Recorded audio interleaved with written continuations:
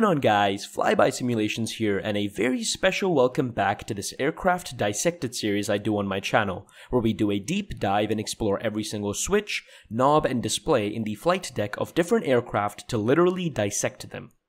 Now, the first aircraft we covered in this series was the Zibo Mod Boeing 737-800 in X-Plane 11, where we started with a detailed dissection of each and every panel and switch in the flight deck, and eventually finished a multi-episode full flight with the aircraft to walk viewers through all of the different phases of flight. You can check out the entire 16 episode series by clicking on the card on the top right of the screen or by checking out the first link in the description section of the video. Now, due to pure overwhelming demand, the following series will be fully focused on tackling the Airbus A320 family, which includes the A318, A319, A320, and A321, including their NEO or New Engine Option variants as well, since all of these aircraft have the same cockpit design and philosophy and only differ based on their physical operational limitations. What this essentially means is that you can transcend the knowledge you gain from these videos to any Airbus aircraft you fly, may it be the FS Labs A320 in FSX or P3D, or even the fly-by-wire A320 Neo mod in the latest and greatest Microsoft Flight Simulator 2020. Speaking of Microsoft Flight Simulator, I've also just started a new series on the channel where we do a full flight from point A to B and basically travel around the world with some live commentary, so go check that out and maybe leave some support if you have the time. Now, for the purposes of recording and editing these videos, I will be using a mixture between the ToLiss A319 and the Flight Factor A320 in X-Plane 11, as that gives me a good balance between performance and being able to show enough system depth. However, as mentioned before, what you learn here will be applicable to any rendition of the A320 in any simulator. Now, as has been the case with all of my aircraft dissected videos, I will be adding three different types of rectangles on screen to represent the importance of each system or panel being talked about. A green rectangle represents systems that are used on almost every single flight, and are therefore classified as important. Yellow rectangles signify rarely used systems during non-normal operations, and red rectangles, as you probably guessed, signify emergency systems that are rarely used. I'll include timestamps for all the different panels and systems in the description section of the video so as to honor your time and allow you to watch only certain parts of the video if you want to. Finally, it would be absolutely amazing if you guys could subscribe to the channel as that greatly helps me out and motivates me to bring these highly detailed and researched videos to a larger portion of the community. So with that all said and the formalities set aside, let's jump into the flight deck and get started. Alright, ladies and gentlemen, welcome to the flight deck of the Airbus A320. So, the first thing you guys should notice is that the aircraft is completely cold and dark, meaning that all of its systems are off with no lights or sounds that can be heard. This is the ideal state we want the aircraft to be in, and it should be this way when you load up the aircraft for the first time. So, in this video, we will be taking a look at the overhead panel of the flight deck and understand the various systems, switches, lights, and other features housed within it you might have noticed that the overhead panel itself is divided into two distinct parts. One is towards the back of the flight deck, whereas the other one, with more switches and dials, is right above the pilots for ease of access. This is done for a reason, as most of the important systems, such as the aircraft's air conditioning systems, fuel, hydraulics, and primary electrical systems, are all housed within this part of the overhead panel. We differentiate these parts by calling this one the lower overhead panel and this one the upper overhead panel. Now in the interest of time, we will be covering only the left column of the lower overhead panel in this video. But fret not, as we will cover the entirety of both the overhead panels in future videos of the series. The reason I'm not covering the entire overhead panel in one video is to give more attention to detail to the important subsystems within the aircraft and to also make these videos more structured and manageable in length. So, hope you guys can understand that. Okay, so if you're new to airliners, I would like to introduce a concept to you all called flows. As you can see, in the A320 family of aircraft, the overhead panel is divided into three distinct sections, so we'll cover each of these sections in a top-down fashion from left to right. Pilots in real life navigate each of these really complicated panels in this way to be able to memorize the correct position of the switches over time and preserve focus while navigating around the flight deck. We will be using a similar technique in this tutorial in order to become familiar with real-world aviation techniques. So, starting at the top left of the lower overhead panel, we have the ADIRS panel. ADIRS stands for Air Data Inertial Reference System and is probably one of the most important systems within the aircraft. This is because it is responsible for calculating the aircraft's lateral as well as vertical position, its speed, altitude, attitude, and air data at any given time, and send it to the various displays in the flight deck to assist with the flight management guidance system, as well as various other flight control subsystems within the aircraft. The ADIRS system itself is comprised of three identical ADIRUs, which stand for Air Data Inertial Reference Units, which provide three-way telemetry and guidance data throughout the flight in order to be able to plot the exact position of the aircraft in 3D space at any given time. Each of these ADIRUs have two components to them, the ADR component as well as the IR component. The ADR stands for Air Data Reference and is responsible for providing information such as the barometric altitude, airspeed, angle of attack, and so on. The IR, on the other hand, which stands for Inertial Reference, is responsible for providing information such as the attitude, the heading, the track that the aircraft is flying, and so on. Now, unlike the ADR, the IR does not navigate, but simply sends navigational data to the onboard flight management computers for navigational computations. So, now that we've covered the ADIRS system, let's look at the switches and knobs on this panel.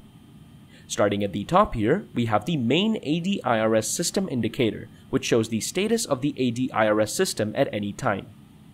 You will normally see an on bat indication here to signify that the ADIRS system is using battery power while calibrating the system before flight.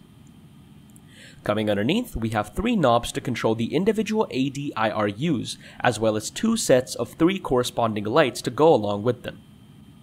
Starting with the knobs, pilots would normally turn on all three of them to the middle nav position before flight to be able to align the ADIRS system. Above these knobs are the IR component lights, which can either show a fault indication or an align indication depending on the state of the specific ADIRU system. A fault obviously indicates a problem with the corresponding ADIRU, and an align light signifies that the specific ADIRU is in the process of aligning. Similarly, the lights below these knobs are the ADR component switches, which show either a fault indication or an off indication both of which are pretty self-explanatory. At this time, I would like to point out that if you're a beginner and are feeling too overwhelmed, that is completely normal. You haven't seen these switches in action yet or during flight, but when you do, everything will make perfect sense, so just bear with me here. Alright, so coming underneath, we have the flight control panel. So this panel is kind of weird because part of it is here on the left side of the overhead panel and the other half is way on the other right side. So we'll cover both sides here at once just to avoid any confusion and so we can cover everything to do with the flight control system in one go. So, the flight control system within the aircraft is responsible for actually controlling the various physical, movable surfaces within the aircraft, such as the ailerons for rolling, the vertical stabilizers for pitching, and the horizontal stabilizers for yawing the aircraft. So, the flight control panel itself consists of three different types of systems. Starting from the left, we have the ELAC system, which stands for Elevator Aileron Computers, which, you probably guessed it, controls the movement of the elevators and the ailerons in the aircraft. ELAC 1 on the left side commands the operation of the ailerons, whereas ELAC 2 commands the operation of the elevators. This is simply done for redundancy and backup, since if one of the ELAC system fails, for example, pilots can still use another method to turn the aircraft. Coming to the right, we have the SEC system, which stands for Spoiler Elevator Computers, and is obviously responsible for controlling the spoilers within the aircraft. There are three systems in this case SEC1, SEC2, and SEC3, which all have different functions for backup and redundancy. Finally, on the right here, we have the FAC system, which stands for Flight Augmentation Computers. This system is primarily responsible for yaw damping movements and subtle course corrections during flight to be able to maintain the right lateral and vertical flight path. Now, if you're coming from a Boeing, this system does the job of a yaw damper, but also has other functions. As with most other systems, there are two FACs, FAC1 on the left and FAC2 on the right. All of these switches act as both lights as well as switches. No light signifies that the systems are operating normally. An off light obviously signifies that those systems have been manually turned off by the pilots, and a fault light signifies that there is a fault with that specific flight control system. Coming further underneath, we have the emergency evacuation panel, which pilots use to be able to trigger an evacuation in case of an emergency on the ground. Starting from the left here, we have the evacuation command switch, which is a guarded switch that when pushed, sounds an alarm throughout the cabin alerting the flight attendants to begin the evacuation. This is what the alarm sounds like. To turn off the alarm, simply press the button again and close the guard. Right next to this button, we have the evacuation horn shutoff button, which when pressed, silences the evacuation horn in the flight deck. Keep in mind that the alarm will still play in the rest of the aircraft, but pilots have the option to shut it off in the flight deck itself to concentrate on performing their duties to aid with the evacuation. Finally, on the right, we have another evacuation switch, which also has two positions. When switched to this captain and purse position, the evacuation alarm can be triggered by both the pilots as well as the flight attendants in the cabin. When it is switched to this captain position, the alarm can only be triggered by the pilots in the flight deck. You won't need these switches in a simulator environment, but just some theory for you folks who like the extra bit of detail in your life. Alright, so coming further underneath, we have the emergency electrical control panel. Now, I must preface this section by saying that my knowledge of electronics and electrical components in general is not at the highest level, so what you'll learn here is purely coming from research and hours of reading and asking questions to real-world Airbus pilots. So, starting again from the left, we have the emergency generator test switch, which is normally only used by ground personnel and maintenance staff to verify normal operation of the electrical buses powered by AC or alternate current. Again, you will never touch the switch even if you're a real-world pilot, as it's purely for maintenance purposes. Coming to the right, we have this Generator 1 line switch, which shows the status of Generator 1 by either showing an off light or a smoke light. An off light obviously signifies that the line connecting Generator 1 has been manually turned off. The smoke light, on the other hand, illuminates when smoke has been detected within the avionics ventilation system, which is the complex array of wires and electronic circuits that make up the overall electrical and flight management system within the aircraft. In the event that smoke is detected, the aircraft must be placed in the smoke configuration to ensure safety of other flight components. Again, this is an emergency system and is normally never used in day-to-day -day flight operations.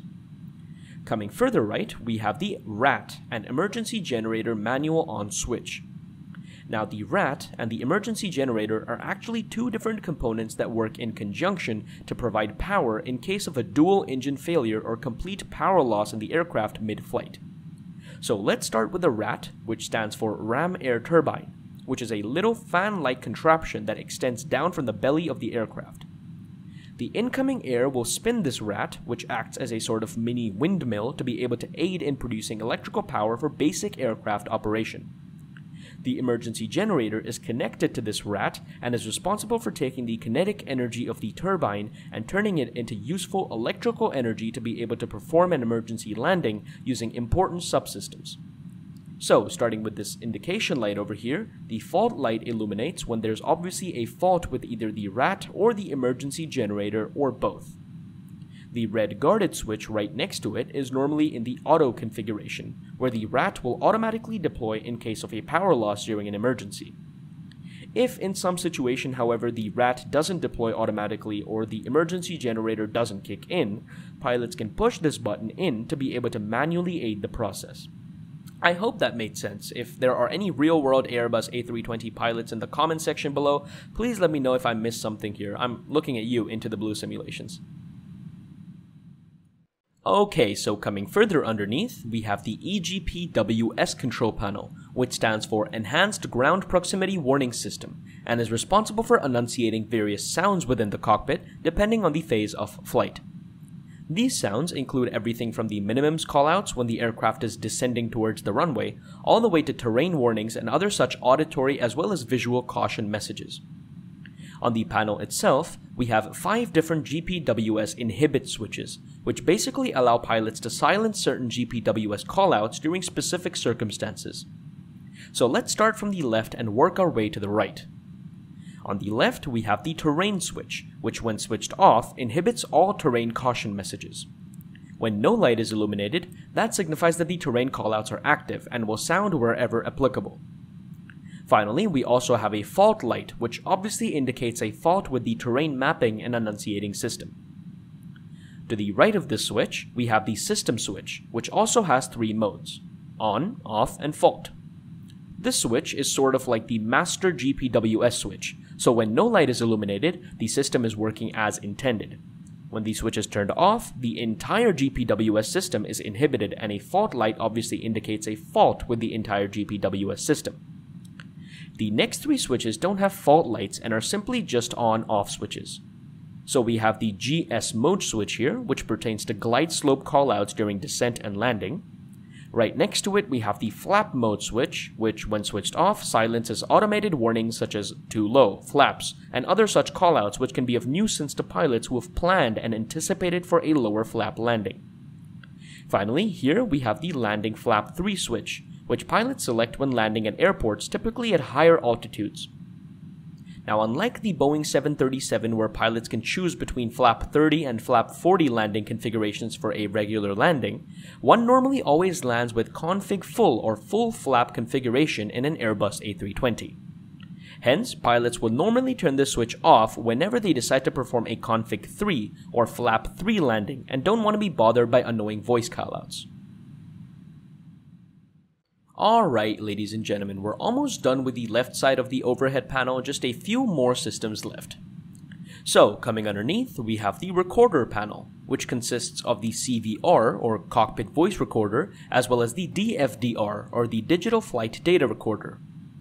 All of these systems are part of the colloquially used black box system, which allows air crash investigators to be able to uncover pilot communications as well as other flight related actions performed by the pilots moments before a crash. Both the CVR and DFDR become automatically operational for 5 minutes after electrical power has been first established and then turn off. They then turn on when either one of the engines are started and remain running until 5 minutes after the last engine has been shut down. As for the switches themselves, we first have the ground control switch here, which allows pilots to turn on both the recorders manually outside of the normal operation times and is normally used to be able to test the recording systems. Coming to the right of this switch, we have the CVR erase button, which allows pilots to manually erase all previously recorded voice communication since the beginning of that particular flight. In order to do this, pilots must press this button and hold for 2 seconds, and also make sure that the aircraft is on the ground with the parking brake set. To the right of this button, we have the CVR test button, which allows pilots to test the CVR system by means of a low frequency tone that is sounded throughout the flight deck signifying that the system is operating nominally. The tone sounds like this. Okay, so coming down below the recorder panel, we have the oxygen panel, which houses all the primary passenger and crew oxygen systems.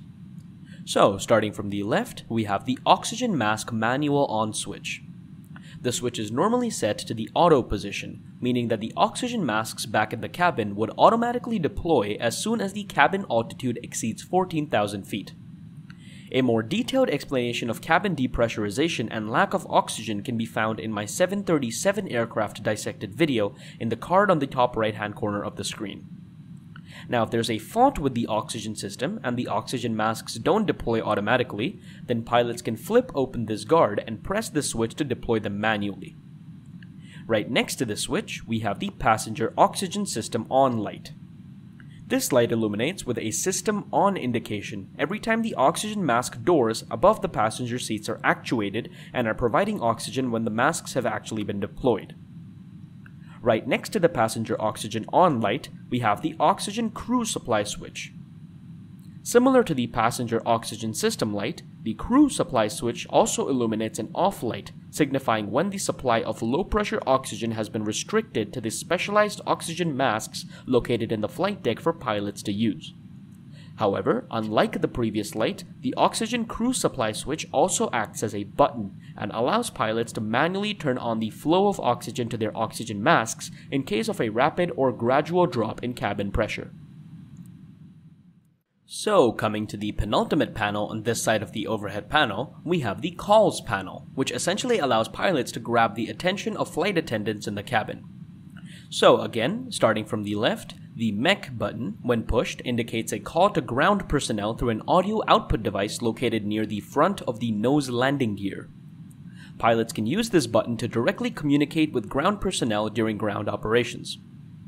Moving to the right, we have a forward and aft call switch, both of which produce a chime as well as a pink light in the corresponding area of the cabin to grab the flight attendant's attention. The chime sounds like this.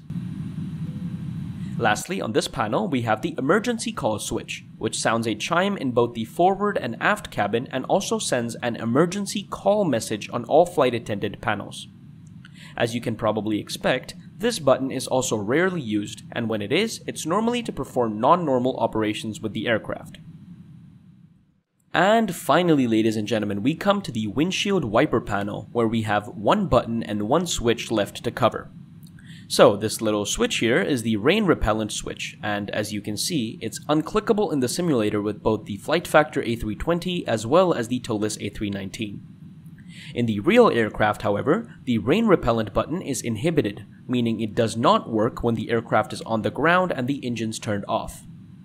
However, during flight, if the button is pushed, a timer is activated which applies a measured quantity of rain repellent fluid on the applicable windshield. Right next to the rain repellent button, we have a windscreen wiper switch, which obviously controls the windscreen wiper in front of the windshield. You can cycle this between the off, slow, and fast modes depending on the intensity of the precipitation being encountered. Similar to the flight control panel, both the button and the switch on the left side can also be found on the right side to control the first officer's windshield. And that's that for the left side of the overhead panel. Alright, ladies and gentlemen, so that brings us to the end of the first episode in the Aircraft Dissected series for the A320. If you made it this far, congratulations. You now have a sound understanding regarding various important subsystems within the aircraft, such as the ADIRS, the flight control systems, as well as the emergency systems such as the evacuation panel and the emergency generator system. Now, I must also mention that all of the documentation and websites I used to research for this video are linked down below in the description, including a written text version of this entire video if you prefer to read those and understand more about this aircraft. That being said, the next video in the series will focus on the center column of the lower overhead panel, which contains everything from the hydraulics, fuel, and primary electrical and air conditioning systems within the aircraft. So stay tuned for that. If you guys enjoyed this video, make sure to perform a full stop landing at that like button and the subscribe button, and press the bell icon for future notifications from this channel. Also, be sure to fly by the comment section and let me know if there's any questions you'd like me to answer for you. As usual, thanks for flying by.